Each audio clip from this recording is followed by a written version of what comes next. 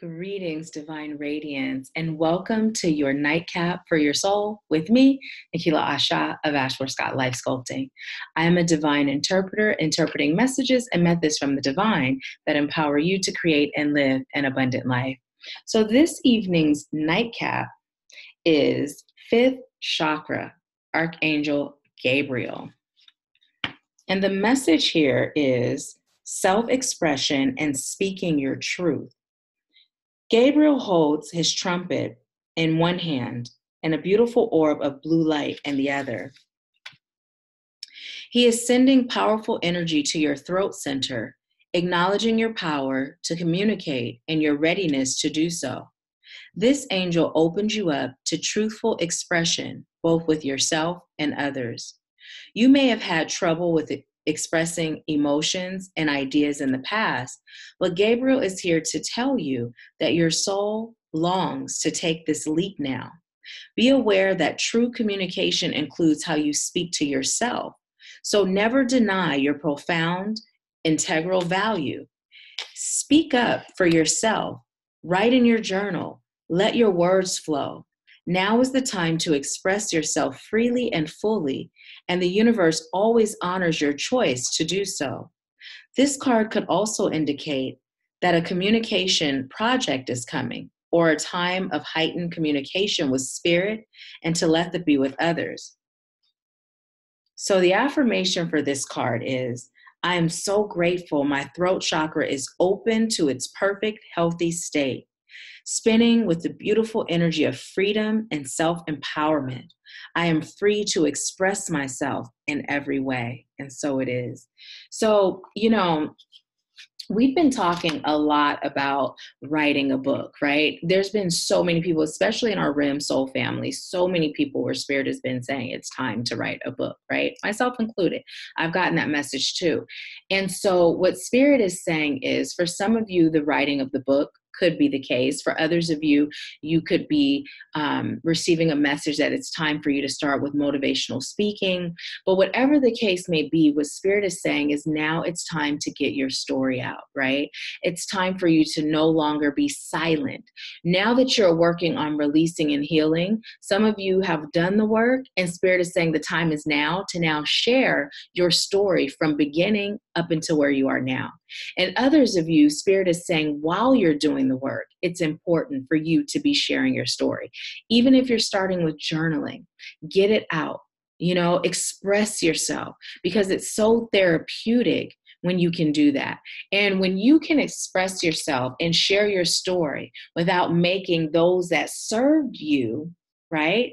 Those that served you by way of playing the villain in the story, when you can share without making them the villain, but explaining what you experienced, right? But still coming from that place of highest light, love, and compassion, that's when you're ready to begin teaching those you're called to serve how to heal themselves. Because if you're still holding on to anger or hate, right, for someone that just played their part that they were called to play in your life, because when we understand, and we've had this talk before, when we understand that everything that happens in our lives serves our highest good and that we agree to live this life before we got here. There are some people in our story that are there to play a form of a hero, and there are some that are there to play the form of a villain. But whatever role they agree to play in your journey, it deserves gratitude. So if you can express yourself from your perspective and your point of view and express what you've learned and how you've overcome it, but still have compassion for those people that played that role because remember, to play that role for you, they're dealing with their own pains, they're dealing with their own hurts, they're dealing with sicknesses, right? So, who are we to judge? Who are we to judge or villainize them, right? So, Spirit is saying, share your truth. And if your truth shows them in the light of a villain, that is the truth. But what Spirit is saying is when you can release the feeling that they're the villain, that's the difference. Because let's be real, it doesn't really matter what role a person agreed to play.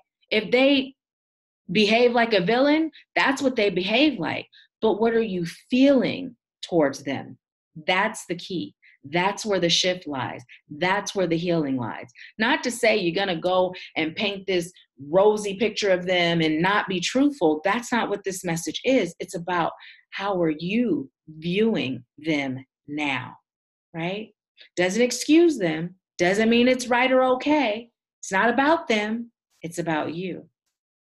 It's about you, your salvation, right? Salvation from suffering, salvation from repeating cycles, right? And when I say repeating cycles, I mean you being in this traumatic state and continuously attracting more situations and people that continue to traumatize you or where you're doing it to yourself. That's the worst.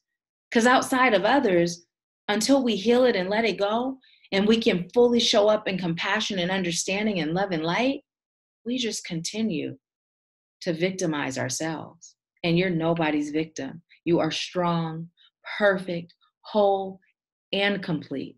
And the things you went through, it wasn't your fault. It wasn't your fault. Let it go now. It's time. You're ready. You're ready to find the purpose in your pain. Okay, so that was this evening's nightcap. Let me know how it resonated or if it helped in any way by leaving a comment and a thumbs up. I really appreciate those. And be sure to share the videos share the nightcaps, you know, let your community enjoy them too. And if you haven't subscribed, what are you waiting for? Go ahead and subscribe to the channel and be sure to turn the notifications on so you don't miss all the delicious yumminess that gets posted to the channel, okay? I thank you so much for allowing me to serve you. Sweet dreams.